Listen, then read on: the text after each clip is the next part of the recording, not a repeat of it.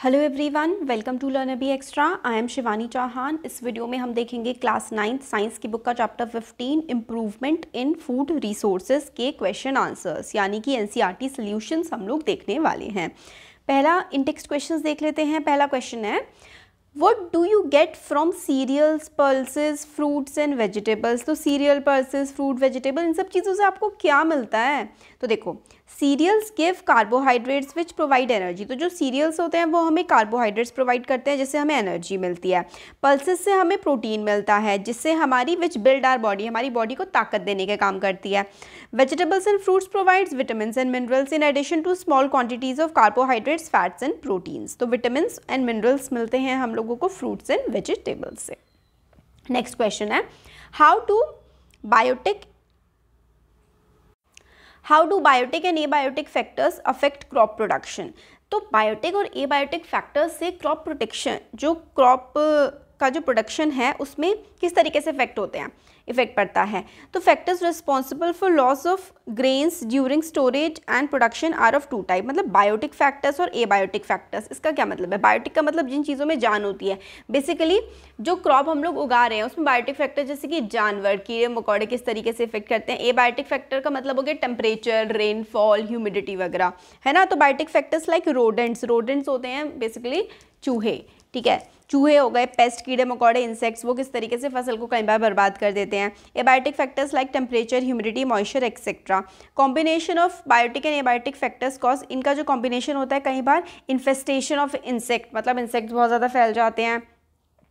और poor जॉमिनेशन ability मतलब अच्छे से जो है, पेड़ बड़े नहीं हो पाते डिग्रेडेशन इन क्वालिटी कई बार पेड़ों की क्वालिटी ख़राब हो जाती है डिसकलरेशन हो जाता है पुअर मार्केट प्राइस मतलब कलर ख़राब हो जाता है, कई बार रॉट हो जाते हैं, सड़ जाती है फ़सलें और फिर अच्छा मार्केट प्राइस नहीं मिलता। तो बायोटिक और एबायोटिक फैक्टर बहुत ख़राब तरीके से इफ़ेक्ट कर सकते हैं।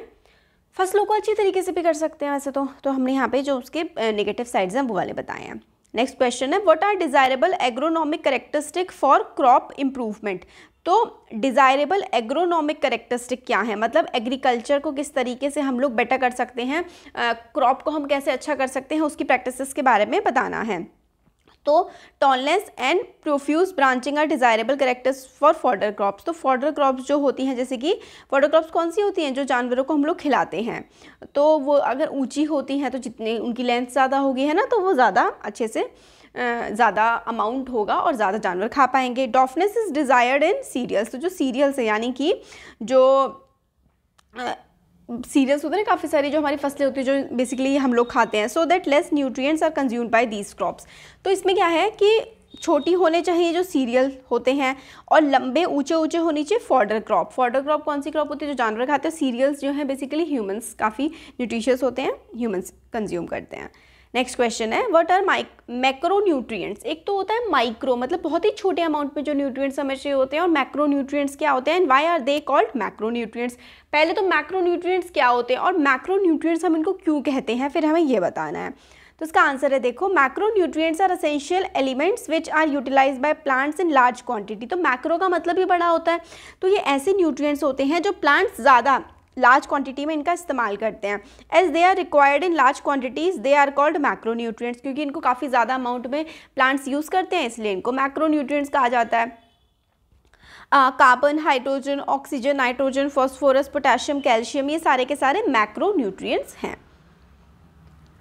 नेक्स्ट क्वेश्चन है how do plants get nutrients plants को न्यूट्रिएंट्स कहाँ से मिलते हैं? तो आंसर है nutrients which are found in soil get dissolve in water and is absorb by the root of plant तो बेसिकली जो प्लांट्स को जितने भी न्यूट्रिएंट्स होते हैं, वो वाटर और सॉइल से ही मिलते हैं। तो जो उनकी जड़ें होती हैं, उसके थ्रू सारे के सारे न्यूट्रिएंट्स प्लांट्स एब्जॉर्ब कर लेते हैं। The conducting tissue xylem transport this water to different part of the plant तो जो जाइलम होता है कंडक्टिंग टिश्यू मतलब पानी को एक जगह से दूसरी जगह ले जाने का काम करता है ट्री में जाइलम टिश्यू तो उसकी हेल्प से हर जगह न्यूट्रिएंट्स पहुँच जाते हैं। क्वेश्चन नंबर सिक्स है compare the use of manures and fertilisers in maintaining soil fertility तो मैन्योर और फर्टिलाइज़र का क्या यूज़ है? सॉइल की फर्टिलिटी को बढ़ाने के लिए। मतलब सॉइल जो है, वो अच्छे से काम करे, अच्छे से उसमें फ़सलें उगती रहें। तो मैन्योर और फर्टिलाइज़र क्या काम करते हैं? कैसे हेल्प करते हैं सॉइल को? तो effects of using manures on soil soil enrich the manures enrich the soil nutrient तो सॉइल के जो न्यूट्रिएंट्स होते हैं उनको एनरिच कर देता है। मतलब न्यूट्रिएंट्स प्रोवाइड करता है मैन्योर सॉइल को। They provide a lot of organic matter humus to the soil and thus restores water retention capacity of sandy soil and drainage in clayey soil तो ह्यूमस जो होता है, वो क्या करता है? वाटर को होल्ड करने की जो क्षमता होती है ना, मिट्टी की उसको बढ़ा देता है। इससे, इसकी वजह से क्या होता है कि फ़सल अच्छे से हो पाती है। The addition of manures reduces soil erosion manure जब डालते हैं फ़सल में तो उससे सॉइल सॉइल जो है इरोड नहीं होती मतलब सॉइल ख़राब नहीं होती, उड़ करके कहीं और नहीं जाती है। They provide food for soil organisms like soil friendly bacteria with the help of and help in the increase in uh, natural microflora. तो जो मिट्टी में रहने वाले जो जानवर हैं जो फ़सल फ़सलों के लिए काफ़ी फ़ायदेमंद भी होते हैं जैसे कि अर्थवॉर्म्स होते हैं। अर्थवॉर्म को क्या कहा जाता है? फ्रेंड ऑफ़ फार्मर्स तो उनको भी फ़ायदा पहुंचाते हैं मैन्योर फर्टिलाइज़र के इफ़ेक्ट क्या होते हैं? तो फर्टिलाइज़र जो है मेनली वो आर्टिफिशियल होते हैं और मेन्योर जो है वो नेचुरल होता है। मेन्योर किससे बनता है? जैसे कि काउ डंग से और जो चीज़ें ऑर्गेनिक मैटर होता है, जैसे कि पेड़ की पत्तियाँ सूख गई हैं, जानवरों के जो काउ डंग हो गया बफलो डंग हो गया और पेड़ पत्तियाँ जो सूख जाती हैं, इन सबको मिला करके बनता है। मैन्योर फर्टिलाइज़र जो है वो सिंथेटिक होता है फैक्ट्रियों में बनता है और इससे क्या होता है पाउडरी सी हो जाती है और कई बार सॉइल इरोजन को भी इंक्रीज़ कर देते हैं fertiliser by use of fertilisers organic matter decreases which further decreases the porosity of soil and consequently the plant roots do not get oxygen properly तो बहुत ज़्यादा अगर आप फर्टिलाइजर्स का इस्तेमाल करते हैं तो पोरोसिटी काफ़ी ज़्यादा बढ़ जाती है। या फिर कई केसेस में घट भी जाती है उसकी वजह से क्या होता है आ, कि ऑक्सीजन की सप्लाई मिट्टी को अच्छे से नहीं हो पाती। The nature of soil changes to acidic or basic तो सॉइल जो एसिडिक होती है या फिर बेसिक होती है उसका नेचर ही बदल जाता है। मतलब जो फर्टिलाइजर्स है ना वो सॉइल को ज़्यादा फ़ायदा नहीं पहुँचाते लॉन्ग टर्म में नुकसान ही पहुँचा देते हैं।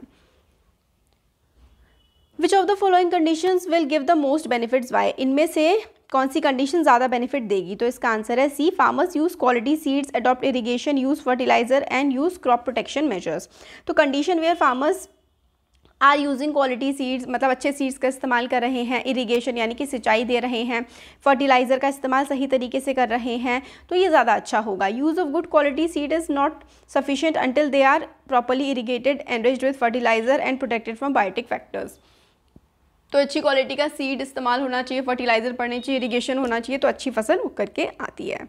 नेक्स्ट क्वेश्चन है why should preventive measures in biological control method be preferred for protecting crops तो क्रॉप्स को बचाना बायोलॉजिकल मेथड्स का इस्तेमाल करना, ये सब क्यों ज़रूरी होता है? तो इसका आंसर है diseases in plants are caused by pathogens तो काफ़ी कीड़े मकोड़े होते हैं, जिसकी वजह से प्लांट में डिसीज़ हो जाती है। To get rid of pathogens some preventive measures in biological control methods are used as they are simple economic and minimise pollution without affecting the soil quality तो काफ़ी जो बायोलॉजिकल मेथड्स होते हैं, जैसे कि मान लो कोई, कई बार क्या होता है, जैसे कि नीम हो गया। नीम के जो पत्ते होते हैं, नीम का जो रस होता है, वो मिट्टी में मिला दिया जाता है तो उससे क्या होता है कि कीड़े नहीं लगते हैं फ़सल को। तो ये बायोलॉजिकल कुछ मेथड्स होते हैं नेचुरल मेथड्स होते हैं, जिससे जानवरों को मतलब पेड़ों, जो पेड़ पौधे होते हैं, उनको माइक्रो ऑर्गेनिज्म से या फिर बुरे माइक्रो ऑर्गेनिज्म से बचा सकते हैं और सॉइल की क्वालिटी भी अच्छी होती है और पोल्यूशन भी नहीं होता ज़्यादा। एक एग्ज़ाम्पल है जैसे मैंने आपको बताया, नीम का। What factors are responsible for losses of grains during losses of grains during storage तो जब कोई भी ग्रेन को, फ़सल को जब स्टोर करते हैं तो मतलब कौन कौन से फैक्टर्स ऐसे होते हैं जिसकी वजह से कई बार जो ग्रेन है उसका काफ़ी लॉस हो जाता है, काफ़ी ख़राब हो जाता है? The factors responsible for loss of grains during storage factor जो कि रिस्पॉन्सिबल होते हैं ग्रेन्स के लॉस के लिए स्टोरेज के time abiotic factors like moisture present in food grains humidity of air and temperature तो कई बार एयर टेम्परेचर और हवा में नमी की वजह से भी फ़सलें ख़राब हो जाती हैं। बायोटिक फैक्टर जैसे कि कीड़े मकोड़े लग जाते हैं बर्ड्स खा जाती हैं या फिर फ़सलों में बैक्टीरिया और फंगी लग जाते हैं, जिसकी वजह से फ़सल सड़ जाती है। नेक्स्ट क्वेश्चन है which method is commonly use for improving cattle breeds and why कौन से मेथड्स का इस्तेमाल किया जाता है कैटल की ब्रीड को इम्प्रूव करने के लिए और क्यों? तो इसका आंसर है, cross breeding is a process in which indigenous variety of cattle are crossed by exotic breeds to get a breed which is high yielding तो क्रॉस ब्रीडिंग का मतलब होता है जैसे कि एक टाइप का जानवर था, उसको दूसरे टाइप के मतलब एक अच्छी क्वालिटी के, मान लो वो दूध ज़्यादा देगा तो ऐसे उसकी ब्रीडिंग करवा देते हैं ताकि जो ऑफस्प्रिंग पैदा हो, यानी कि आगे पीढ़ी का जो बच्चा जानवरों में पैदा हो, वो ज़्यादा दूध दे। अगर मैं गाय की बात करूँ तो cross breeding is a process in which indigenous variety of cattle यानी कि जो इस देश की होती हैं, जैसे हमारे देश की जो कैटल है, यानी कि गाय, भैंसे हैं, वो इंडिजिनस हैं। उनको क्रॉस कराया जाता है एक्जॉटिक ब्रीड से। एक्जॉटिक ब्रीड का मतलब है जो कहीं बाहर से आई है। To get a breed which is high yielding मतलब ज़्यादा दूध देने वाली क्वालिटी मिल जाए। मैं अगर दूध देने वाला जानवर की बात करूँ तो। During cross breeding the desired characteristic are taken into consideration तो भाई डिज़ायर करेक्टरिस्टिक जैसे कि हमने जो एग्जांपल लिया है, इस केस में ज़्यादा दूध निकले। द प्रोजेनी यानी कि जो बच्चा पैदा होगा resulting from cross breeding contains the desirable trait of both indigenous and exotic breed तो जो आगे प्रोजेनी होगी, जो बच्चा पैदा होगा, वो उसमें सारी करेक्टरिस्टिक होंगी, जो ब्रीड अभी की है या फिर जो फ्यूचर में होगी। The progeny should be high yielding should have early maturity and should be resistant to adverse climatic condition तो जो प्रोजेनी होगी, जो बच्चा पैदा होगा, उसके हाई ईल्ड होगी। मतलब वो बहुत ही अच्छे से एनवायरनमेंट में रह पाएगा एक्ट कर पाएगा मेच्योर जल्दी हो जाएगा और क्लाइमेटिक कंडीशन को सह पाएगा और उसकी करेक्टरिस्टिक जैसे कि सपोज़ करो कि बकरा है, उसमें मीट ज़्यादा होना चाहिए, मांस ज़्यादा होना चाहिए तो इस तरीके की ब्रीडिंग करवा दे कि ज़्यादा मांस वाला, ज़्यादा हाई प्रोटीन कंटेंट वाला वो बकरा बन जाए और उसको जब हम खाएँ तो उसके मतलब मैं तो वेजिटेरियन हूँ, जो मतलब खाएँ उसे तो उसमें प्रोटीन कंटेंट ज़्यादा हो तो इस तरीके की चीज़ें की जा सकती हैं। क्वालिटी को एनहेंस किया जा सकता है जानवरों की क्रॉस ब्रीडिंग से। नेक्स्ट क्वेश्चन है discuss the implication of the following statement तो ये जो स्टेटमेंट है, इसके हम लोगों को क्या करना है? इसके इम्प्लीकेशन बताने हैं। It is interesting to note that poultry is India's most efficient converter of low fibre food stuff into highly nutrition animal protein food तो इसका क्या मतलब है? ये काफ़ी मतलब इंटरेस्टिंग फैक्ट है कि poultry is India's most efficient converter of low fibre food मतलब फाइबर जो होता है, वो लो फाइबर से हाई न्यूट्रिशन एनिमल प्रोटीन का हम लोगों को एग्ज़ाम्पल मिलता है। इसका आंसर देखते हैं कि क्या कहना चाह रहा है। बेसिक एम ऑफ़ पोल्ट्री यानी कि जो वो होता है ना पोल्ट्री क्या होता है? मुर्गी पालन।